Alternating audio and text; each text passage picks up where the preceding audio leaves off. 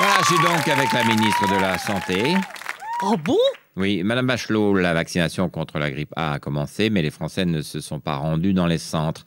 Ça vous inquiète? Ah bah oui, hein, c'est très inquiétant. Il faut absolument se faire vacciner. Pourquoi? Bah sinon, les Français vont tous mourir. Vous êtes sûr Mais certaines, la grippe A est très dangereuse. Elle tue sans prévenir. En deux heures, vous êtes raide. Oui, on vous a entendu dire ça ce matin sur Europe 1, mais je suis un peu catastrophiste. Mais pas du tout, c'est la vérité. J'ai vu des scènes horribles à l'hôpital, vous savez.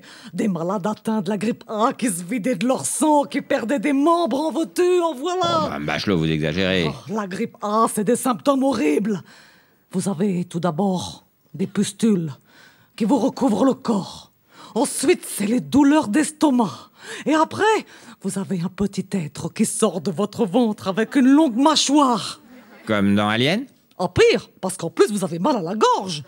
Madame Bachelot, les Français savent que la grippe A peut tuer, mais on ignore si le vaccin n'entraîne pas d'effets secondaires. Peu importe, la grippe A tue, c'est tout, c'est ce qu'il faut savoir. Justement, non, les Français veulent en savoir plus. Ah, vous voulez en savoir plus? Tant pis pour vous. Non seulement la grippe A tue, mais une fois mort, les soirs de pleine lune, vous sortirez de votre tombe, tout vert, et vous attaquerez d'autres gens pour les manger. Comme dans Thriller? En pire, parce qu'en plus vous avez le nez qui coule.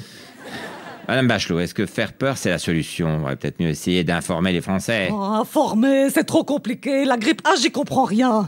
Euh, Est-ce que je vous ai raconté que si la grippe vous atteint, votre voix va changer, votre visage devenir tout vert, et votre tête va tourner à 360 degrés, et les meubles vont voler dans votre chambre. Oui, oui, oui, l'exorciste, oui. Pire, parce qu'en plus vous avez des courbatures. Elle n'arrive pas à vendre ses vaccins, mais elle m'a donné envie d'acheter des DVD, hein